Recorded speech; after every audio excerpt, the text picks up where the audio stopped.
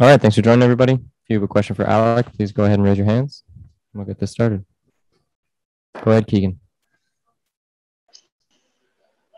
Hey, Alek, thank you for doing this. Um, what did you have working so well for you today, and what allowed you to do that in, in such a big moment, the biggest start of your season? Yeah, I thought, you know, the heater four-seam was uh, really good today. It was kind of jumping out of my hand. Um, so was, well, we talked to, you know, in the bullpen before the game, like, hey, force uh, four-seams kind of jumping out there. So let's kind of use that uh, uh, to get kind of get everything else going. And um, you know, was able to do that and then kind of break some sliders off and um, throw that slider first pitch. And um, you know, the changeup, you know, didn't really use it much today. Uh, didn't really find many spots to to be able to throw it. And the ones I did to Mullins, I thought you know were were effective low and away. Kind of kept them off the heater a little bit. So um, was able to attack with the heater and kind of um, just throw that off speed once they were sitting on the heater. And now that you're at the end of your regular season, at least, when you look back to your first start, what are you proudest of, or what do you feel like grew the most in your game over this season? Um, I think you know the the focus level. Sometimes uh, you can go really good for three innings, and then you kind of start to lose a little bit of focus. Might walk a guy or hit a guy or whatever. And uh, I just think over over the season, you know, I've been able to lock it in a lot more and and kind of uh, expect the storm, you know. Uh, so um, been been just playing real aggressive, real competitive, no matter what the score is, and um, just trying to stay focused for every pitch. All right, thank you, Alek. Thank you. Go ahead, Caitlin. Hey, Alek. Um, thanks for your time. Um, you look at uh, the last, I think the Blue Jays have won the last eight where you've started. I mean, what is it that you especially like about starting these big games and what you think it sort of agrees with you about? Yeah, I mean, these games are, you know, they're they're huge for us. They're they're huge, you know, for for our entire organization, and everybody kind of knows what's at stake, you know. So so those guys are going out there prepared and, and giving it their all. And, and for me, it's kind of just uh, giving them confidence in me, um, allowing allowing them to to swing the bat freely and and to understand that you know if they if they give me a couple runs, that that might be enough, you know. So um, that allows them to be you know nice and, and smooth and and loose while they're playing. And, and for me, just um, them having that confidence in me is huge. So uh, being able to go out there and just just set the pace from the first inning, uh, get that offense out there and allow them to have some fun and um, just let them go win the game. Yeah, I mean, speaking of the offense, obviously you you um, they gave you a big cushion today. Um, excuse me, sorry. Uh, you know, what was it like watching that offensive performance, especially all the all the home runs? Yeah, it was amazing. I mean, you know, I, I always uh, just try and keep that game close and give them a chance. And you know, they they showed today, uh, like they have all year, um, that at any second they could put up four, five, six, ten runs. Um, so for me, it's just about you know trying to get as many zeros on the board and um, just letting them hit as much as they can, um, so that they can go do what they do best. Thank you. Thank you. Go ahead, Gregor. Hey, Alek. Thanks for doing. Thank you for doing this. Um, in, in, Minnesota, you said um, you know every game is every start for you is a is a must win start. But just just kind of wondering, like that start in Minnesota, the, the one today, um, do these feel at all different to you? Or are you able to compartmentalize it and really just kind of make it just any other start? Yeah, I mean, um, you know, I, I didn't go out today thinking I was pitching against the Baltimore's. I went out today uh, just trying to throw the best game that I can. Um, you know, it's October baseball and uh, right now we're trying to make a push, you know. So uh, we just focused on controlling what we can control. And um, yeah, like I told you guys last week, uh, every game for me is a must-win game. So uh, it doesn't doesn't matter who's on the other side. Uh, I truly believe if I compete as hard as I can and trust my pitches and and, and attack the game plan, um, I'll be able to keep our team in the game and let that offense go put up some runs. Um, you obviously have to stay locked in no matter what's going on around you. But the Vladimir Guerrero home run in, in, the first inning, I mean, a lot of home runs came after that, but that really seemed to get you guys going. What what kind of boost did that provide just early in the game in the dugout? Yeah, it was huge. Um, you know, when you play close games all the way to the end, you're kind of just you know keeping the opponent in um, for as long as possible. And I I feel like um, when when we put up three or four, you know, early, uh, it was kind of like uh, setting the pace for the game that you know we're we're just gonna um, you know, uh, give it all we got right here, and and and we're gonna try and explode it open. So uh, I think that was a big blow uh, early on, and kind of just set the pace for the rest of the game. Cool. Thanks, man. Thank you. Go ahead, Jordan. Hey, Alek. Uh, I don't know if you know John Means personally, but you know, given that both of you guys were out there today representing West Virginia University, just curious, kind of what that felt like uh, for you. Oh, it was amazing, man. Um, you know, I chose to go to West Virginia because it's an extremely blue blue collar school, and I and I believed in what they were doing, and I believed where they were going. You know, and and now you look at you know four years after uh, my freshman year there, and I'm pitching in the big leagues against John Means, where seven years, eight years ago that that or uh, that school didn't even have a, a, locker room, and now we got two guys going against each other in the big league. So uh, for me, it was a special day, and um, you know he he's an extreme competitor, and, and he's a bulldog out there. So I was just extremely uh, happy I was able to get the win today over him. Cool. Thanks a lot. Thank you. Go ahead, Rob. Hey, Alek. Uh, from from pitching to the offense of this team, um, should you guys get the chance to play beyond tomorrow, what what would make them dangerous in your mind? Um, they all can hit a home run at any point in the game. Uh, they're all extremely aggressive. Uh, they also have a great approach. Um, so if we get in, I, I, I think they're they're gonna just keep swinging that bat and uh, continue to to to feel confident at the plate, and our arms are gonna go do their job, and and and we're just gonna try and take this thing as far as we can. What's different about the team in September than maybe earlier in the season when you first got called up? Um, you know, I would just say, you know, the the level of confidence that that we're playing with right now is is amazing. Um, everything's kind of clicking. Uh, our bullpen, our starters, um, our offense, you know, from from top to bottom.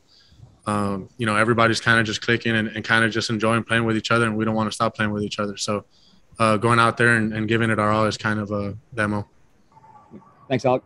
Thank you. Go ahead, Shi.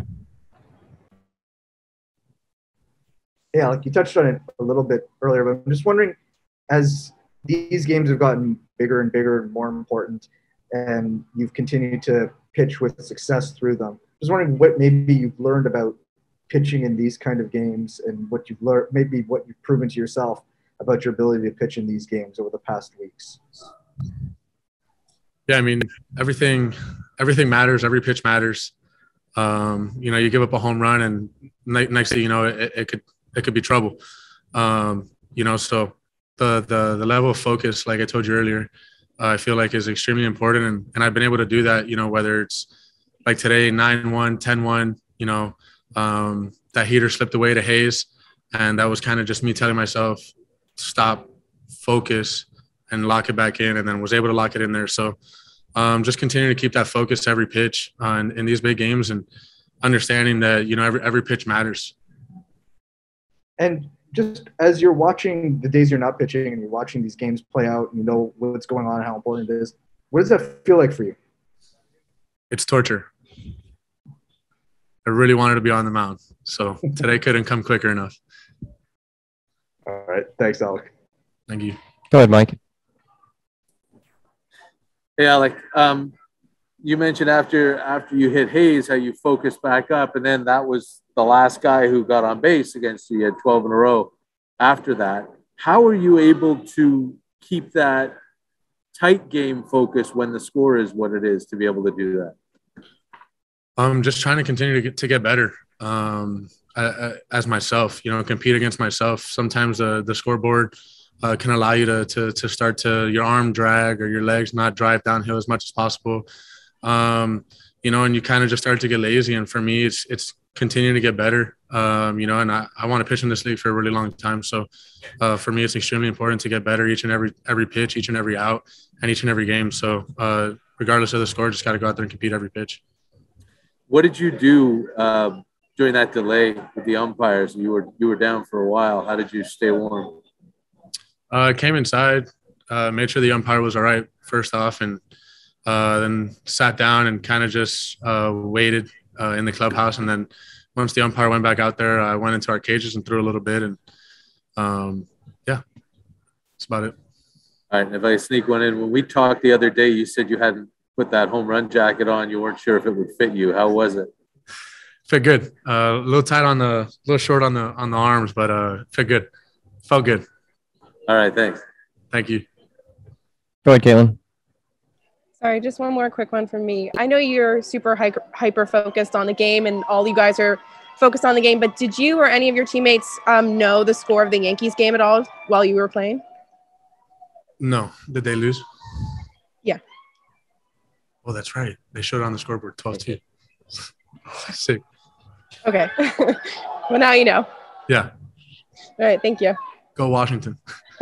Charlie, I know obviously for a little while now it's been discussed that every game is a, a must-win game. How did you feel that your uh, rookie starting pitcher responded when it was his turn in that atmosphere? That I don't think of him as a rookie. this guy, it's his age is beyond his age. It's you know he's not afraid of the moment. He wants it, and and again he did it again tonight. Uh, one of the reasons I felt good about it tonight, I said it before the game because he was pitching, and and he had to make, make an adjustment because now the umpire goes down. So now he has to wait, you know, after he's pitching good, have to wait whatever that was, half hour or whatever that was. And, and it still came back and, and it was sharp. So he was big. And then in the sixth inning, I know, uh, you know, trainer and, and you went out to see Vladdy after his double. What was he sort of dealing with there? And, um, you know, how's he feeling now? Yeah, no, he's good to go. If it would have been a knee or a hamstring or something, I would have taken him out. He just said he rolled his ankle a little bit, so he felt uncomfortable. He was he was fine after that. I got you. Thank you. You're welcome. Go ahead, Gregor. Hey, Charlie. Uh, Vladdy seemed to give you guys a bit of a spark uh, with the, with that first inning home run, and um, you know, b- before last night, at least by his standards, he had been scuffling just a little bit. I think he had been three for his last 32. To see him come through last night with the big hit, and then again today, uh, I mean, how just how encouraging is that for you guys uh, to have him heating up at the right time? Yeah, you know, one thing I, uh, actually I told both of them, Teo and and and Vlad, that one of the reasons we're in this spot is because what they've done all year you know, one's gonna be Silver Slugger, the other one's got a chance to be the MVP. So, you know, just do have fun because you earned the right to be at this time and this moment because what you've done, you know. So have fun and and they were both huge because those runs at the beginning were big and gave us momentum. So yeah, that that was it was good to see. It was great to see actually. Uh, and, and, then just one more quick one on Manoah. I mean, him being able to to pitch so deep into the game like he did. I mean, even dis- despite the score, him him getting through all those innings. Um, does that kind of set you guys up in a in a perfect situation for tomorrow, just with your high leverage guys being rested? Yeah, and it was it was good to see Ross throw him a couple of innings in case we need him later on, you know. And yeah, no, it was awesome. Yeah, and again, I'm not surprised. That's what Manoah's done, and he did it again today. Cool. Thanks, Charlie. You're welcome. Go ahead, Ben. Hey, Charlie. Um, you have obviously uh, worked with Danny Jansen for years now, and you've been with him for most of his career. Is this the best uh, stretch that you've seen from him offensively? Yes, for sure. And and Wickenden knew he had a chance to do that, but then, but again, he's been a struggle until now. But I think again, the best thing that happened to him is just when he got hurt a little bit, he started working on his hitting because he's always been a good catcher. This guy's really good behind the plate. Uh, pitchers love throwing to him. Uh, but he's hitting. We knew he could hit more, but he just hasn't done it in the big leagues. But now he's, he's locked in. I mean, hitting that ball opposite field, that that was impressive to me. And I said, no way that's going out, and he did. And you know, that was a big home run too, because you'd never know against that lineup. You know. For sure. And I'm guessing, you know, if this was May or June, you might not do the day game after a night game with Ryu up. But I mean, at this point in the season, does that kind of change a bit where it's like you have to win these games and he's your best hitter? Well, I mean, it's only what, seven o'clock? He, he'll get plenty of time to, yeah. to rest. Three o'clock game. For sure. yeah, he's in. no, for sure. For sure. Thanks, Charlie. You're welcome. Go ahead, Shi. Hey, Charlie. I'm just wondering uh, for tomorrow, uh, for Hyunjin Ryu, just given the fact he's one start back from the IL, are there any restrictions on him tomorrow? And are you expecting to have uh, Berrios and other guys perhaps available in the bullpen? I mean, just because what Manoah did today, our bullpen's fresh, you know. And if I have to use Romano for four outs again, five outs, I will. You know, Mayza is fresh. You know, Cimber's fresh. Uh, uh, uh, what's, what's his name? Trevor Trevor Richards is fresh. So like I don't feel like I have to use Berrios because our bullpen's fresh. You know, Pearson, Merryweather. So so we're good to go. You know, and and let me get this out, man. 90 wins in the American League East after playing on the road for the first whatever 200 and whatever days uh, it's impressive man this team deserves so much credit and we're gonna go all the way to the 162 i'm so proud of these guys i don't know if you guys were gonna ask me that but i just i just gotta get it out it's it's unbelievable what these guys have done. I'm so proud of them. It's it's not it's great. All right, thanks, Charlie. You're welcome. Go ahead, Rob. Hey Charlie, related to what you just said, um, what's it been like? What, what what have they been? What have the te- what has the team been like this week as they're going through this? I mean, obviously there's a level of excitement, but what have you seen from them in the clubhouse that maybe uh, people like us aren't seeing? Just they believe, they believe, you know, and our coaching staff, and and we we never quit. You know, we could have quit in Dunedin when it was tough and the wind was blowing out, and then when we moved to Buffalo, we, we could have stopped. We could have quit there too, you know, but we never did and we deserve to be here in this moment because these guys never quit, never make excuses. You know, now I'm the one telling you how tough it was, but when we were going through it, you never heard it from me or any player, which is that's why we're here. You know, because these guys never complained; they just wanted to play ball, and it is what it is, and, and we're gonna play. So it's so awesome that we're here at this moment. It's it's it's pretty cool, and it's still a young team.